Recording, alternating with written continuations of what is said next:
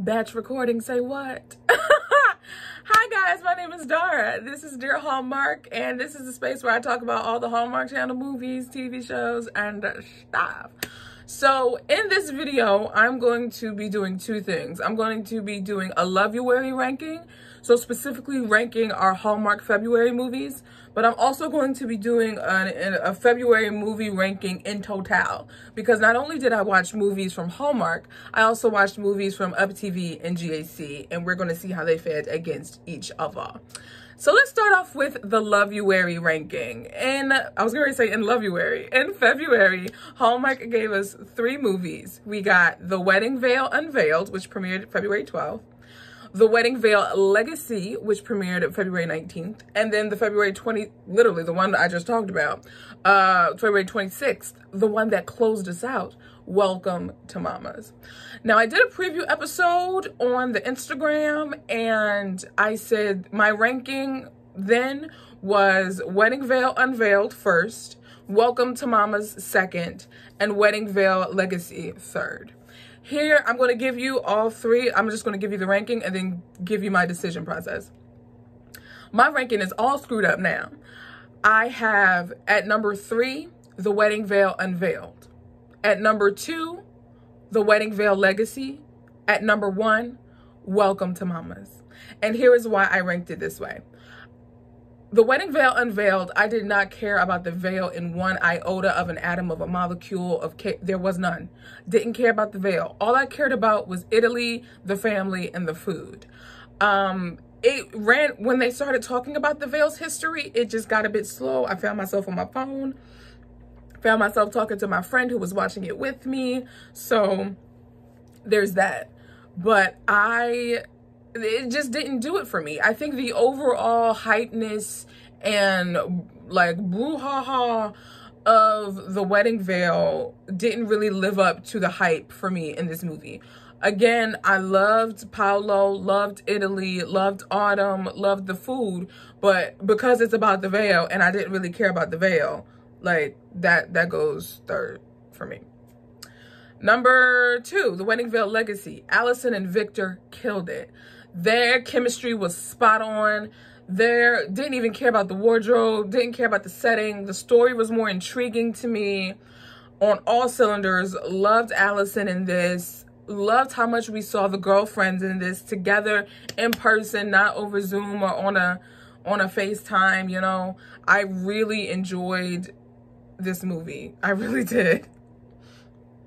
And then Welcome to Mamas was just such a surprise. It was such a breath of fresh air. It was so cold. It was such culture and family and love and food. Like I felt it. And it was the, do I want to say it was the, I don't think it was the underdog per se, but because out of all the movies we got in February, this is the one where we didn't know anybody, at least for me. I, I believe the woman, um, the woman who played Mama, she's from The Sopranos, but I've never watched The Sopranos. Um, that's what I heard through the apple tree, you know, through the grapevine. But um, loved her in that. Welcome to my, like the acting, the performances, the storytelling. Oh, I just enjoyed it so much. And so, welcome to Mama's. I, it was it was a surprise. It was such a surprise for me. And so, again, my Loveuary ranking the Wedding Veil Unveiled coming in at bronze. The Wedding Veil Legacy coming in at silver. And then Welcome to Mamas coming in at gold.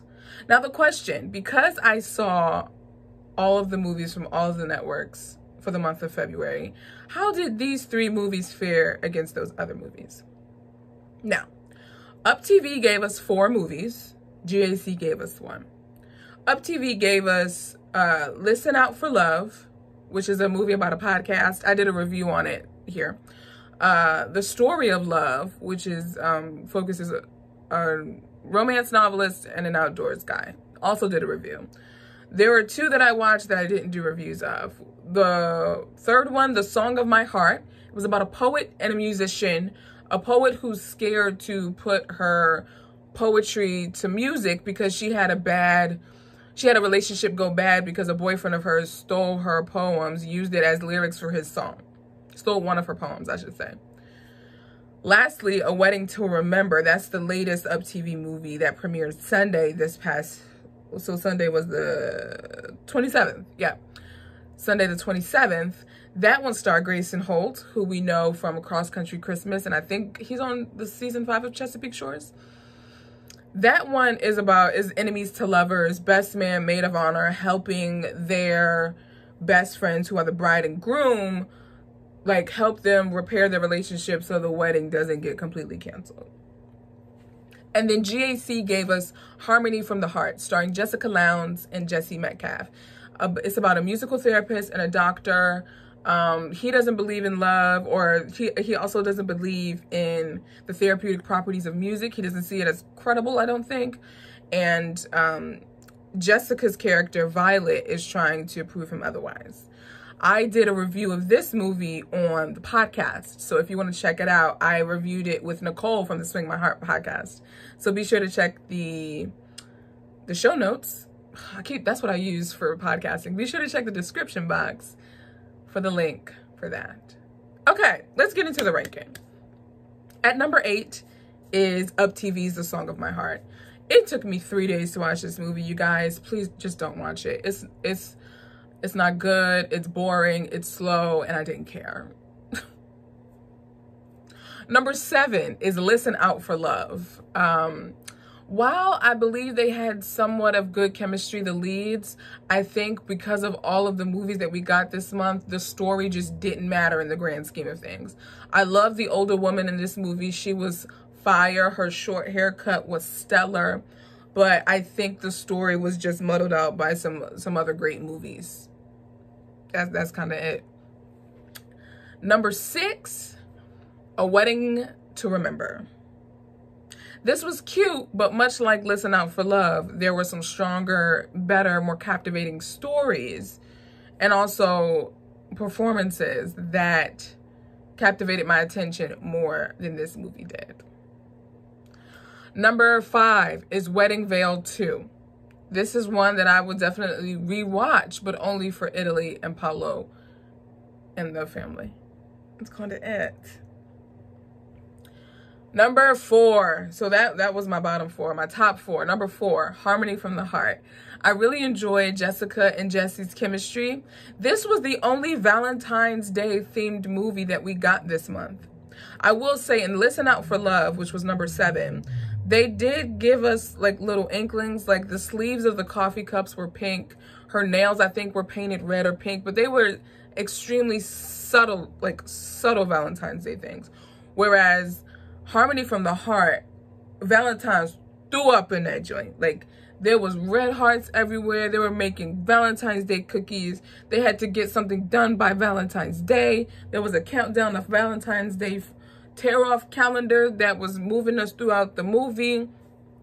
Like, it was a lot. And I loved it. Number three is Wedding Veil 3. Alison and Victor killed it. The chemistry, the city, the food, the art, the work husband. Loved it, loved it, loved it. Love it all. Number two, Welcome to Mamas. Love this movie. Again, the Italian, the culture, the sentimentality, the romance, the food, the, the New York of it all. I loved it. But this movie takes the cake for me. The Story of Love, starring Brittany Bristow and Franco DePresti. Wait, what is it? Franco Lopresti. This movie was fun. There was banter. I laughed out loud at times. There were high stakes.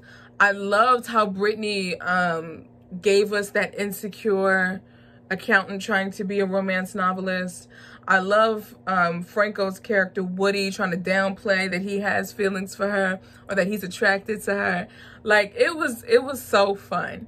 And I, I really think it's worth, it's worth a look-see.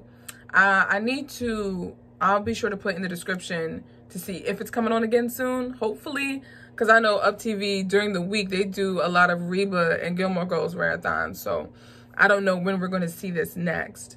But, um, yeah so let's do a quick recap of all of my February movies that I've watched, the ranking. At number eight is The Song of My Heart by Up TV. Number seven is Up TV's Listen Out for Love. Number six is Up TV's A Wedding to Remember. Number five, we have Hallmark's Wedding Veil 2 Unveil or Wedding Veil Unveiled. Number four, we have GAC's Harmony from the Heart. Number three, we have Wedding Veil Legacy, Hallmark. Number two, we have Hallmark's Welcome to Mamas. And then at number one, we have Up TV's The Story of Love. So you guys, let me know what your Hallmark ranking is. Did you watch all of the movies from the different networks like I did? Will you watch some? Like I said, I'm going to be doing a March, or not March, a spring preview as well for the podcast because as I'm recording this, E.T. just dropped the exclusive for Hallmark's April movies, which is going to continue Spring into Love. So we are going to get, there's going, there's going to be around two of movies that we're going to be getting, which I am excited about. So, you guys, thank you so much for watching. Let me know your ranking in the comments. I look forward to engaging with you guys there. If you haven't already, be sure to subscribe to the YouTube channel and to the podcast. And be sure to follow Dear Hallmark on Instagram. Until next time, watch a movie. Love on somebody. Life's too short. I'll talk to you guys in the next episode.